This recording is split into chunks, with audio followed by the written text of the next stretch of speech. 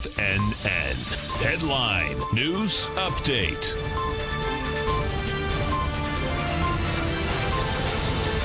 Welcome, folks. We had the Dow Industrials finished up 45, Nasdaq up 15, S&P's up 9. Now it's going to be all about what happens in the next five minutes, folks. Why? Because you got Microsoft coming out with numbers. Microsoft will move the S&P 500 as well as the Nasdaq 100, and the futures are open for another 15 minutes. And they both, folks, the, the S&Ps are at 3,003. That has been a congestion zone, huge amount of resistance right at that level. Uh, NASDAQ is uh, basically weaker, definitely weaker. Uh, bottom line is that we are right where we had the downdraft uh, out here yesterday coming into the close, and it still doesn't have enough juice uh, at this particular point, but we'll see how that shakes out in the next uh, about three and a half minutes because we will have Microsoft coming out. My take is that Microsoft is going to get lower.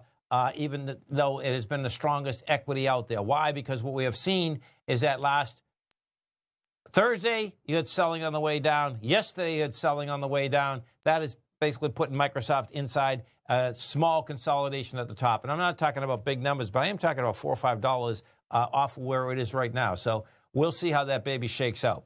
We had the uh, gold contract. Gold contract was up seven dollars and ten cents. That was trading out at one at fourteen ninety four. We're going to need more volume on gold. Uh, bottom line is that it did reject lower price last few days. Today you got seven dollars up. Not enough juice though. Not enough uh, volume inside it to get into higher price.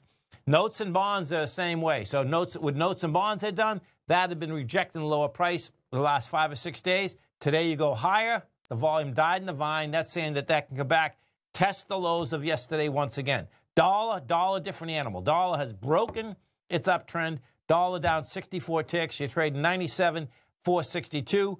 But what that's saying inside the, the dollar is that that's saying that that dollar Bottom line wants to get down on a short term basis to the 95 level. On a long term basis, it's saying it wants to get down to the 85 level. So you're talking about big numbers there. Microsoft just came out. Microsoft closed at 137.24.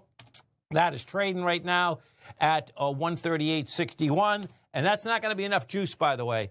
Uh, what, what, what happened with Microsoft is this uh, good numbers, okay, but the bottom line is if you have something that comes out like that, you have to see a big expansion on the way up. Why? Because it's been up so, such a period of time. When you don't get a big expansion on the way up, guess what? They're going to sell that baby down.